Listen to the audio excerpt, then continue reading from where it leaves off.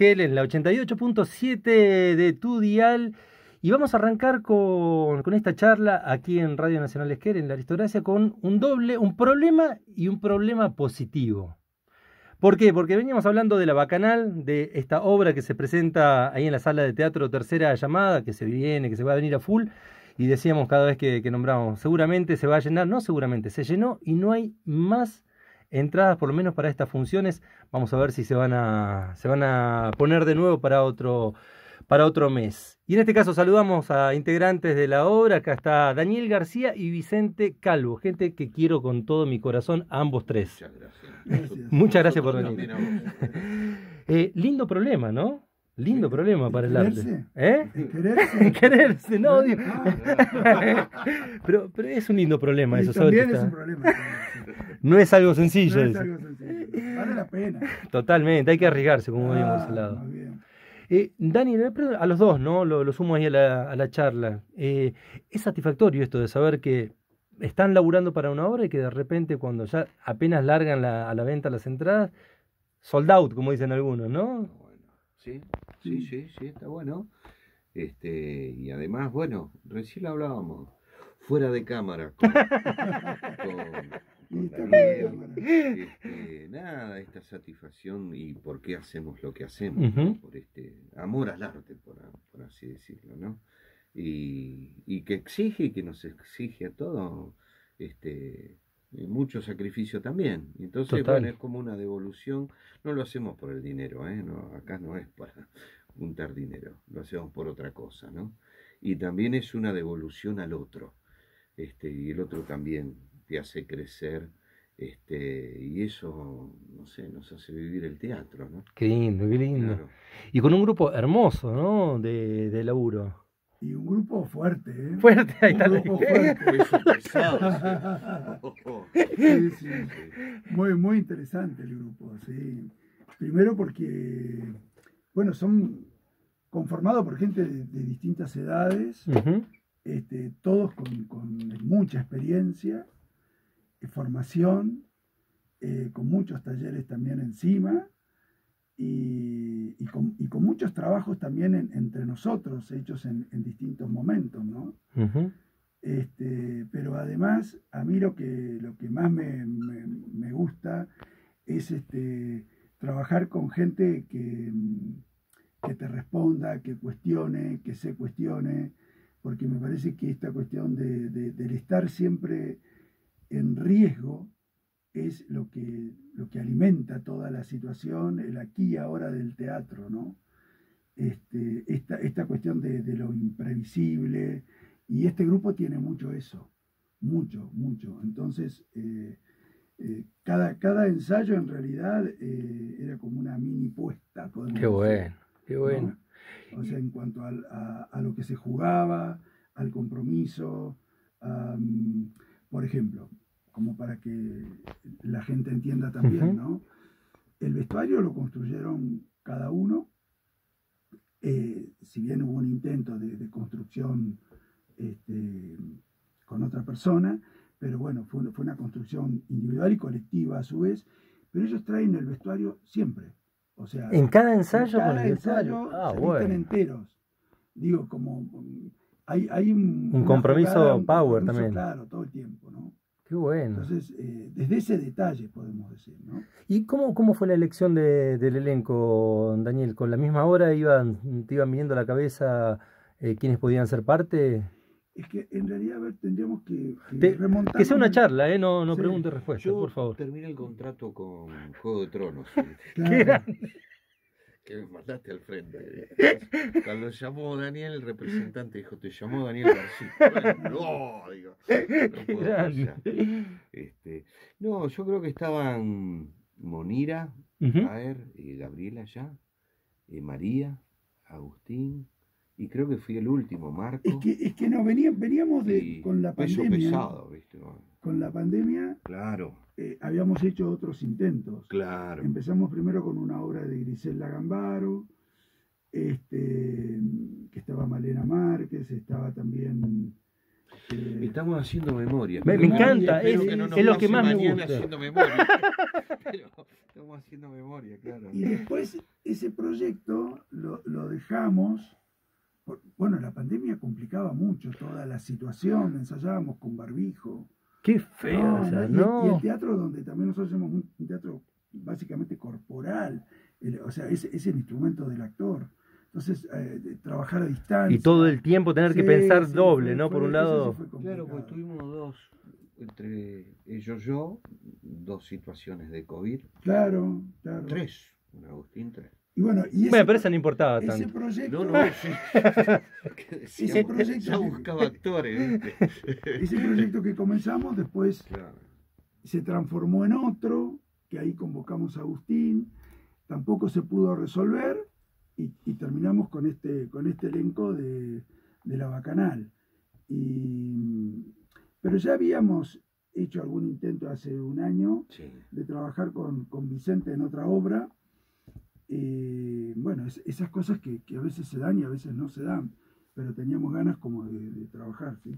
Juntos. Eh, ahí, justamente con respecto a esto, quería preguntarle a ambos tres, como me gusta decir siempre, cuando empezaron el, el- el proyecto de ir trabajando esta obra de teatro, ¿no? A ensayar, etcétera.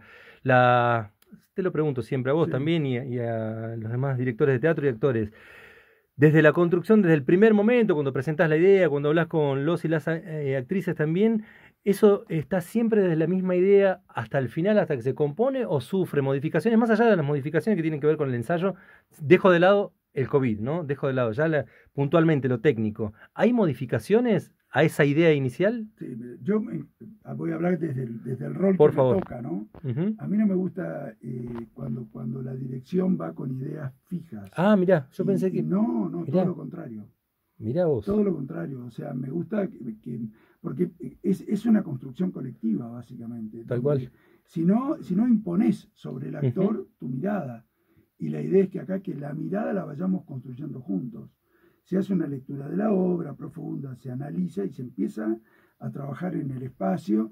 Lo que hace el director es proponer ejercicios Qué que van orientando, a veces orientan, a veces desorientan a los actores, este, y ellos también devuelven, pero, pero la, la- lo, lo más interesante es, es trabajar en esa, en esa comunión. Qué bueno. ¿sí? Siempre me acuerdo de una frase que me dijo una vez Cecilia Lofredo, que es psicóloga. Estás muy loco, Dani, esa no, la no, no, no, me dijo, eh, trabajá desde el inconsciente, que es mucho más interesante.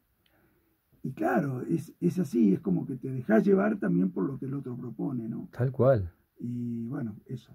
Y desde tu mirada, ¿cómo fue el proceso de trabajo eh, ahí? Yo creo que fue nada, una experiencia para mí muy, muy, muy valiosa, muy valiosa.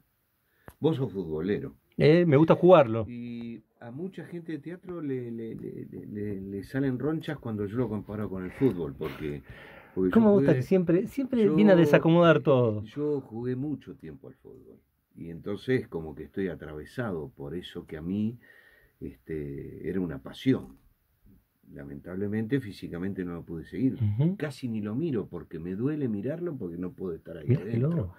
Este, me pasa lo mismo con el teatro, es como una pasión. Entonces, eh, siento que fue muy valioso eh, trabajar con Daniel, muy valioso, de mucho crecimiento, qué sé yo, ya, qué taller ni taller, haber hecho esta obra para mí. Sí, sí, sí, me, me generó y me dio una pauta de laburo hermosa que uno arrastra y lleva siempre con uno Qué a partir bueno. de esta obra. Y después, bueno, creo que yo lo siento al revés. eh, nunca podría dirigir, creo, en ese sentido. Para mí el director es como, siempre lo digo, es el gran maestro, el alfarero, y uno es la arcilla. De arcillas tenés de las que quieras y de los colores que quieras. Y alfareros también. Y yo lo siento así, como que va moldeando, te va moldeando. Y la arcilla se va acomodando y va, pero soy de esos que, nada, que me gusta tener un alfarero que me vaya generando, motivando, metiendo. Y bueno, y esto lo, por lo menos a mí me ha pasado y con pesos pesados como pesado en el sentido Eh, se físico entiende con perfectamente. Y con Marquito que hay que bancárselo en mi escena físicamente este, ni te cuento María En la vida cotidiana. claro en la vida cotidiana Así que en ese sentido como actor fue, fue y será muy valiosa la, la experiencia y el trabajo en grupo este, maravilloso. A mí me, me encantó y, y mañana la vamos a romper. Qué bueno, qué bueno eso. qué bueno. claro, Me- claro. digamos, no conozco la interna, no fui, no, no estuve presente en, en ensayos y eso, pero conociendo individualmente cada uno y el colectivo de, de- de teatro, también me da la, la sensación de que, de que hay ahí una, una energía interesante también para trabajar, ¿no? Que pueden ser algunas veces buscado, me imagino, de manera técnica todo, y está bien, ¿por qué no? Pero se le agrega un plus extra, me parece ahí, Se le ¿no? agrega, claro que sí. claro que Eh, sí. A ver, perdón, ¿qué- ¿hay un llamado en vivo?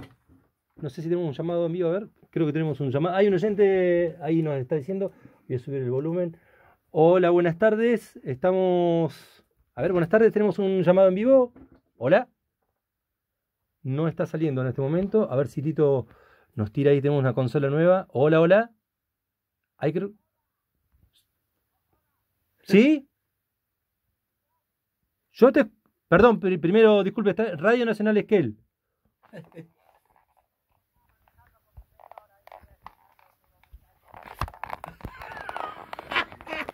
A ver, pero voy a subir un poquito el volumen de acá de este lado. Estás, eh, tú, tú- ¿nos podés decir tu nombre, por favor? Sí, te, te escuchamos. Te escucho. Eh, Mauro Mateos, esto es Radio Nacional Scale. ¿Quería hablar con AM o FM? Qué linda la radio nacional. es. Mi familia escuchaba la radio nacional todos los domingos. No, los llamados al poblador, una belleza. No, venía escuchando acá con mi señora y veníamos escuchando la radio nacional. Escuchaba a estos dos muchachos. Está en FM, ¿eh? ¿Cómo? Esto es FM. ¿Estaba escuchando FM? FM, claro. Ah, es FM, gorda. Ah, es FM, sí, claro. Y veníamos escuchando a estos dos muchachos que estaban hablando del teatro, ¿no? Y a mí me pasan varias cosas con respecto a esto del teatro. Eh, digo, eh, me, me- yo quería preguntarle al señor director, Daniel se llama. ¿cómo, cómo se llama? Daniel. Daniel, Daniel. Daniel, Daniel, eh, Daniel, usted, ¿cómo, ¿usted qué cree? ¿Cómo es el nivel de- del teatro acá en la ciudad de Esquel? Porque me gustaría saber qué piensa al respecto. Bueno, eh, yo no sé si, si vos sos de Esquel, pero el Esquel tiene una trayectoria teatral de hace mucho, mucho tiempo. Este, no de, años, podemos decir, ¿no? O sea, es, es una constante que también se ha hecho, ya llevamos como más de 30 años del encuentro provincial de teatro, hay muchos grupos, hay salas teatrales, este, así que desde ese punto de vista la actividad es bien nutrida y hay mucha gente que se dedica a la actividad. A mí Y- qué raro, porque yo, la, la verdad que es la primera vez que escucho hablar de usted. ¿Usted hace mucho hace teatro? Sí, claro, como un- más de 40 años, sí, Un numerito. sí, 40 sí. años es, es- es bast- es bastante. Es que raro que no escuché nunca de, de, de Y bueno, usted. depende, no sé, no sé qué decirle. Mire que yo eh, ando, eh, eh, frecuento mucho los ambientes. eh, ¿Qué ambiente frecuenta? ¿Qué ambiente frecuenta usted? no, las domas, eh, eh, los desfiles, las carrozas, eh, los bailes familiares. Eh, toda la cosa sana, ¿vio? Y- ah, ¿el teatro no es sano? No, y, y yo en ese punto trataría de no tocarlo, porque me parece que, qué sé yo, es un área que mm, yo no sé qué tanto estaría aportando a la cultura, ¿vio? A ver, si me permite, si me permite. Uh, se enojó. ¿Con quién hablo? Vos, vos ya me escuchaste, me dijiste muchacho. Decime tu nombre. No me tomes de bobo. Dale, dale, dale. Dale, dale, decime tu nombre, dale. Le, le voy a hacer un-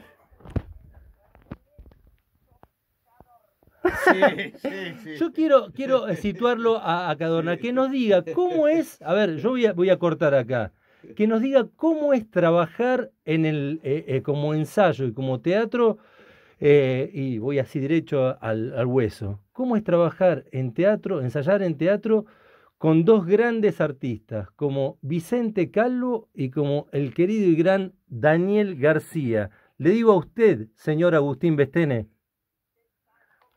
¿Cómo anda, mis queridos amigos? ¿Qué haces, Ernesto Cardona? respeto el señor director. ¿Cómo estás, Agus? Estamos. No pudimos estar ahí presentes, pero bueno, eh, hicimos una llamadita. Pero queríamos tener una, una- una presencia de ahí.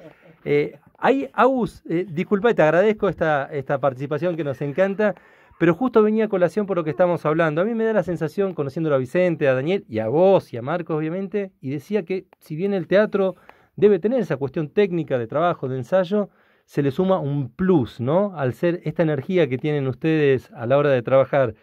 ¿Cómo es el grupo este que conformaron, Agus? Y obviamente lo invito ahí a Dani, como siempre, y a- Vicente.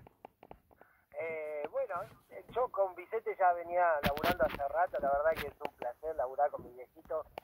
Eh, con Dani siempre tuve ganas de laburar, nunca habíamos tenido la posibilidad, la verdad que se sostuvo, como bien dijo él, que en el momento de pandemia empezamos con varios proyectos que no que por ahí no, no tuvieron final feliz, pero sostuvimos el espacio. Qué bueno. Eh, también está María de Los Ángeles, es un placer laburar con ella y con todos los chicos que estamos ahí. Y la verdad que es una manera de laburo eh, muy orgánica, muy muy fácil. Eh, venir, eh, él te deja el lugar abierto para que vos como artista propongas, Qué bueno. ¿no? que eso es lo fundamental. Vos como artista venir, proponer una idea, generarla, él decirte, mirá, esto está bueno por acá, esto está bueno por allá, fíjate en esto, y ahí vas moldeando. Eh, bien dice Vicente, cual alfarero, eh, y uno como muñeco de arcilla, ¿no? Entonces, eh, es lindo, es lindo ver, eh, ir, ir viendo cómo la obra va tomando forma, ver el compromiso de todos los compañeros en el momento de entregarse, entregar directamente todo, ¿viste? Eh, bueno. a mí me gusta cuando el tiempo de trabajo, que por lo general en estos momentos son acotados, se aprovechan. Entonces, cuando vos vas y tenés dos horas, dos horas y media para ensayar y, y entras y se ensaya a pleno, y esas dos horas que parecían poco terminan siendo muy productivas, y, y me parece que eso es fundamental, ¿no? A la hora de, de- de arremangarse y laburar, ¿viste? Aprovechar el tiempo y laburar, que eso me Eh, parece que es genial. Ahí, ahí está bueno y lo, lo uno, Dani, que vos estabas diciendo que era el plus ese de la gente con la cual se trabaja, de los compañeros y compañeras, y aparte esto que vos siempre lo, lo tomás como, obviamente es un trabajo, pero siempre pones énfasis en el laburo, ¿no? Y ahí lo está destacando Agustín, está No, buenísimo no, eso. correcto, sí, comparto totalmente lo que, lo que dice Agustín, ¿no? Este, insisto que, que como que cada encuentro, cada ensayo se convierte en, en una micro experiencia. Qué bueno. No es ir y pasar la letra, sino, bueno, y vo- volver sobre ejercicios, hacer trabajo de mesa, o sea, es un ida y vuelta en función de lo que se vaya necesitando, ¿no? O Qué sea, grande. es, también es una obra que nos permitió trabajar eh, en, en forma conjunta y también por separado, por escenas. Wow. Entonces eso eh, alimentó mucho el, el trabajo y dinamizó mucho el tiempo, ¿no? Qué grande. Y vas a decir algo, Vicente. Sí, una pregunta de periodista, este, Cadorna y, Daniel. ¿qué, es la bacanal? Muy bien, ahí. Ay, la bacanal era una fiesta que hacíamos cuando éramos jóvenes. Hablo de, hablo de la obra, Cadorna, de la la, obra. la obra y la bacanal. La bacanal es un lugar donde se encuentran muchas cosas. Pero sobre todo creo que se encuentra el, el ser humano, ¿no? Con sus miserias, eh, con sus cosas buenas, con sus cosas malas. eh, y habla un poco también y refleja la sociedad en sí, ¿no? La sociedad latinoamericana. Creo que es eh, un poco eso. ¿Respondí bien, señor Vicente? No sé, lo estoy mirando al director. ¿Qué dice el director? Di- ¿Bien? ¿Dije bien? Está bien, está bien, porque yo creo que dijo tam- lo que tenía que decir. Que, que también está bueno eh, esta propuesta que hace el autor, eh, como que no tiene, tiene un- una multimirada, no tiene una mirada unívoca. ¿no? O sea, el, el espectador va a poder construir otras miradas más allá de la anécdota, de lo que sucede, que es una anécdota cortita, chiquita, este, pero lo que de ahí suceda, no, no trabajamos para ese mensaje, para que la gente piense de esta manera lo que nosotros creemos. Después cada uno Construirá su propia construirá mirada. ¿eh? su propia mirada, que me parece que eso, eso también es importante, ¿no? Agus, yo sé que estás mm, eh, comprometido ahora con, con el laburo. Te agradecemos, quería tener la participación de, también de más actores aquí y como siempre poniéndole esa onda y ese buen humor que, que le pones a la participación. Así que te liberamos por ahora y te agradecemos como siempre la posibilidad de estar acá en Nacional, que es parte también de, de tu vida y te recuerdo con mucho cariño, brother. Bueno, Maurito, eh, muchas gracias. La verdad que quería estar, quería estar eh, ahí en el piso con ustedes, pero bueno, por una cuestión laboral, desde que se cortaban los tiempos, sí que me iba a llegar y, y- y realmente estoy laburando ahora. Así que bueno, pero bueno, y compañeros, compas, nos vemos hoy a la noche, que tenemos un Obviamente. Qué buen lindo. ensayo y les mando un abrazo. Un abrazo, Agustín. Muchas Un abrazo, gracias. Agustín. que es un placer trabajar con ustedes. Igualmente. Y nada, me, me- les corto porque me emociono mucho. Qué lindo, Cadorna. qué lindo. Un abrazo. Beso grande, Brody, te quiero. Abrazo. Bueno, ahí lo Y- y escuchábamos. esto, esto que dijo último es como lo clave, o sea, eh, eh, el amalgamiento se da también desde el vínculo humano. Si no- Total. Si no, si no hay una construcción Total. de vínculo, este, me parece que ahí, ahí es, es ese plus que vos hablás eh, de lo que se genera en energía. O sea, cuando ese vínculo humano está fuerte y vos ves ese compromiso en el otro y las ganas de laburar y llegar y, y- y tener todo esto que decía del vestuario, o, bueno, eso se potencia, se potencia de una manera que no, que no va más allá de lo racional, ¿no?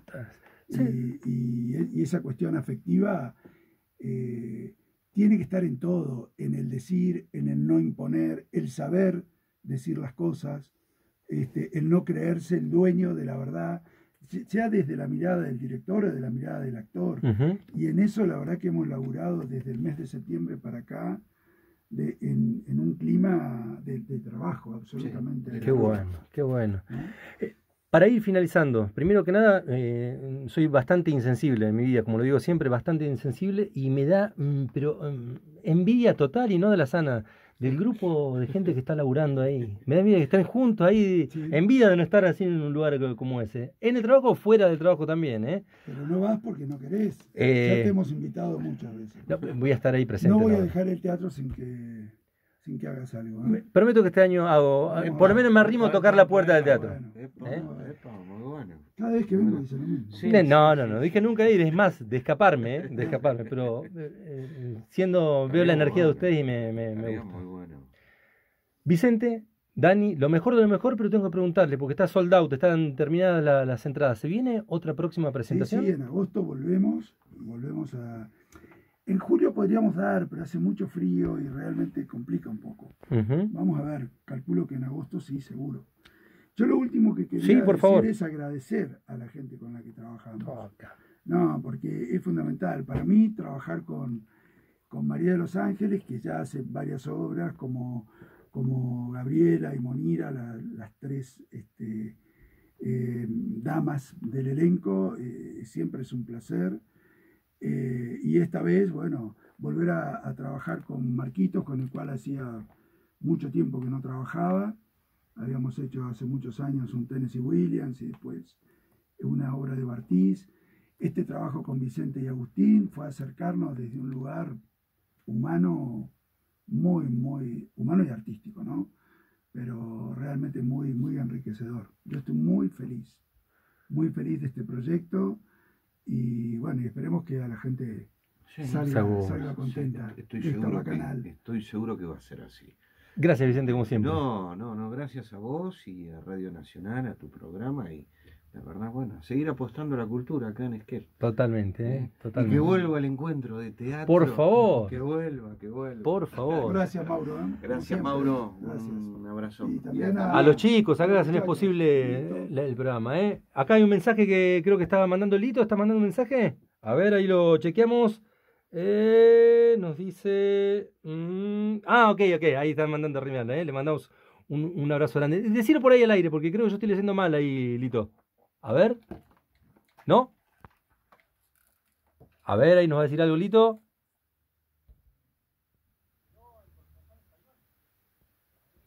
Ah, sí, tenemos un corresponsal español. ¿Pero está ahora? Pues coño. A ver, ¿cómo es el asunto? Ah, Es aquí en la Patagonia un lugar increíble y maravilloso. Aquí cualquier persona tiene el derecho y la posibilidad de hacer muchas profesiones y muchos oficios a la vez. Por ejemplo, en Esquel tenemos al famoso Daniel García. Lo conocemos como geógrafo, lo conocemos como director de teatro, lo conocemos como preceptor de escuela. Y además, Daniel García se está dedicando a la pasteurización. Acá lo tenemos al pastor Daniel García en Esquel. Lo podrán ver, acompañar Solo lo podemos ver en la Patagonia Argentina. Daniel García, geógrafo, docente y además pastor. Esto es para la televisión española. Mauro Salazar García. gracias.